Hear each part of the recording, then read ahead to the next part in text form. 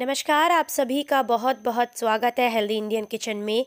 अगर आप चेहरे की झुर्रियों से, झाइयों से, आँखों के काले घेरे से और इसी के साथ स्किन पर जले हुए जो निशान होते हैं, उसकी वजह से स्किन में कहीं पर खुजली बहुत हो रही है तो इस वजह से इसी के साथ मुहासों से या चेहरे पर होने वाले किसी भी तरह के दाग धब्बे से परेशान है। सिर्फ़ चेहरा ही नहीं, हाथ हो, पैर हो, गर्दन हो, अगर आपको ऐसा लगता है कि वहाँ पर बहुत ज़्यादा दाग धब्बे हैं, ब्लैकेट्स और वाइटेट्स बहुत ज़्यादा हैं तो आज की ये रेमेडी आपके चेहरे के लिए एकदम वरदान की तरह है। अगर आप इसे यूज़ करेंगे तो आपको इसके बहुत ही बेहतरीन रिज़ल्ट मिलेंगे। विद इन थ्री डेज़ में आपको बहुत अच्छे फ़ायदे मिलेंगे। वीडियो पसंद आए तो प्लीज़ लाइक कीजिएगा और चैनल को सब्सक्राइब कीजिएगा। तो ये देख सकते हैं कि आज की जो रेमेडी है, ये बनकर तैयार होगी आलू से। आलू इसका मेन इंग्रेडिएंट है। आप सभी जानते हैं कि आलू में भरपूर मात्रा में मैग्नीशियम होता है फास्फोरस होता है आयरन होता है जिंक होता है। इसी के साथ साथ इसमें अमीनो एसिड होता है ग्लूकोज होता है और ये एंटीऑक्सीडेंट से भरपूर होता है। इसी के साथ साथ फ्री रेडिकल्स होता है। अगर आपकी स्किन में कहीं पर भी किसी तरह का डैमेज है, उसको रिपेयर करने में स्किन को ब्लीच करने में ये बहुत फ़ायदेमंद है। आप जो मार्केट से लाकर ब्लीच खरीदते हैं ना, और वो लगाते हैं, उससे आपकी स्किन को बहुत ही गलत इफ़ेक्ट पड़ता है। उसे स्किन में बहुत ज़्यादा ड्राइनेस आती है रेडनेस आती है।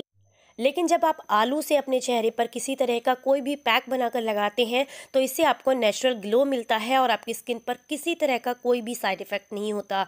जब आप इसे इस्तेमाल करते हैं तो आपकी स्किन में ग्लो भी आता है। इसी के साथ साथ अगर मुहासों, झुर्रियों, झाइयों या फिर स्किन के कालेपन से परेशान है, आँखों के काले घेरे से परेशान है या लिप्स आपके बहुत ज़्यादा डार्क हो गए हैं तो इन सभी के लिए आलू बहुत फ़ायदेमंद है। तो यहाँ पर सबसे पहले आपने एक मीडियम साइज़ का आलू लेना है और इसे छोटे टुकड़ों में काट लेना है। यहाँ पर आपने वो आलू इस्तेमाल करना है जो कि बहुत ज़्यादा रखा हुआ या पुराना ना हो, यानी कि इसमें स्टार्च काफ़ी अधिक मात्रा में हो, सूखा हुआ आलू यहाँ पर यूज़ नहीं करना है। फ्रेश आलू लेंगे तो आपको ज़्यादा फ़ायदा मिलेगा। इस रेमेडी को लगातार एक हफ़्ते तक करके देखिएगा। वैसे फ़र्क तो आपको पहले दिन में ही दिख जाएगा, मैं अभी आपको दिखाऊँगी, लेकिन अगर एक हफ़्ते तक करेंगे तो आपको बहुत बेहतरीन रिज़ल्ट मिलेंगे। अगली जो चीज़ आपने इस्तेमाल करनी है, वो यहाँ पर आपने लेनी है आठ से दस लौंग, जिनके ऊपर फूल लगा हुआ हो। अगर आपको झाइयों की दिक्कत है या चेहरे पर मुहासे बहुत निकलते हैं तो आप लौंग का इस्तेमाल ज़रूर कीजिए।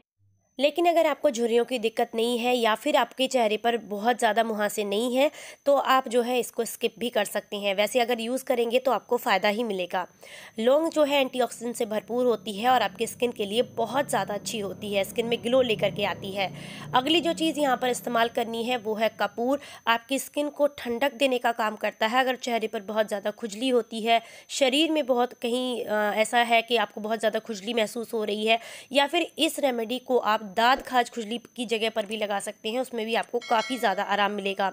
इसी के साथ जैसे कभी कभी ना स्किन जल जाती है, उसका निशान रह जाता है तो उसके निशान को भी हटाने के लिए बेहद फ़ायदेमंद है रेमेडी तो यहाँ पर मैंने कपूर को भी डाल दिया चार छोटे छोटे से टुकड़े मैंने इसमें डाले हैं। यहाँ पर अब इस्तेमाल करना है अपने गुलाब जल का। आप चाहें तो इसमें थोड़ा सा टमाटर भी डाल सकते हैं। अगर आपकी स्किन पर बहुत ज़्यादा टैन आ गया है, यानी कि धूप की वजह से जगह जगह काले धब्बे पड़ गए हैं, कहीं स्किन वाइट दिखती है, कहीं ब्लैक दिखती है, इस तरह का इवन टोन है आपको तो फिर ये आप यूज़ कर सकते हैं। इसमें थोड़ा सा टमाटर भी ज़रूर डालिएगा, आपको ज़्यादा फ़ायदा मिलेगा। तो ये देखिए, मैंने इसका पेस्ट बनाकर तैयार कर लिया है। अब इसे लगाने के दो तरीके हैं। आप चाहें चाहें तो इसे निचोड़ लें किसी कपड़े में और इसका रस निकाल लें तो आप लगा सकती हैं। लेकिन अगर इस पेस्ट को लगातार ऐसे ही अपनी स्किन पर डायरेक्ट अप्लाई करेंगे तो आपको ज़्यादा फ़ायदा मिलेगा। तो ये देखिए, इसे अप्लाई करने का तरीका है कि आपने थोड़ा सा पोर्शन इस तरीके से लेना है।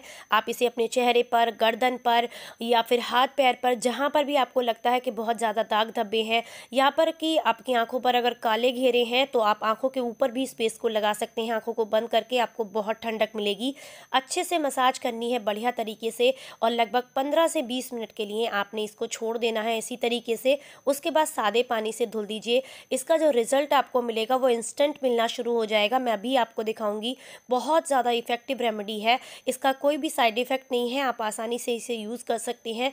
आपके चेहरे पर अगर बहुत ज़्यादा जलन होती है, जैसे गर्मियों के मौसम में भी होती है और सर्दियों में कुछ लोग को ईचिंग बहुत होती है तो वो लोग भी इसको इस्तेमाल कर सकते हैं। लेकिन अगर आपकी स्किन एक्स्ट्रा ड्राई है तो आप इसमें थोड़ा सा ग्लिसरीन भी ज़रूर ऐड कीजिएगा। नहीं तो फिर आपको थोड़ी सी ना ड्राइनेस ज़्यादा हो जाएगी। अगर आपकी स्किन नॉर्मल है या फिर आपकी स्किन ऑयली है तो आपको यहाँ पर ग्लिसरीन डालने की ज़रूरत नहीं है। हैं। तो आप देख सकते हैं, मैंने अच्छे से मसाज कर ली है। इसके बाद मैं आपको बिल्कुल साफ़ कर कर अच्छे से दिखा रही हूँ। आप देख सकते हैं, कितना लाजवाब फ़र्क आया है। दोनों हाथों में मैं अंतर आपको दिखा रही हूँ। इंस्टेंट आपको फ़ायदा दिखेगा बहुत ही अच्छा इससे ग्लो आता है। आप चाहें तो अगर किसी फ़ंक्शन में जा रहे हैं, एक दिन पहले और आप ब्लीच करना चाह रहे हैं तो ब्लीच की जगह पर इसे लगा के देखिएगा, आपको बहुत ही ज़्यादा फ़ायदा मिलेगा और तुरंत ग्लो दिखाई देगा। ये आप देख सकते हैं, मैं सामने आपको दिखा रही हूँ। बहुत ही बढ़िया इसका रिज़ल्ट है। एक बार ज़रूर ट्राई कीजिएगा इस रेमेडी को। बहुत ही इफ़ेक्टिव है।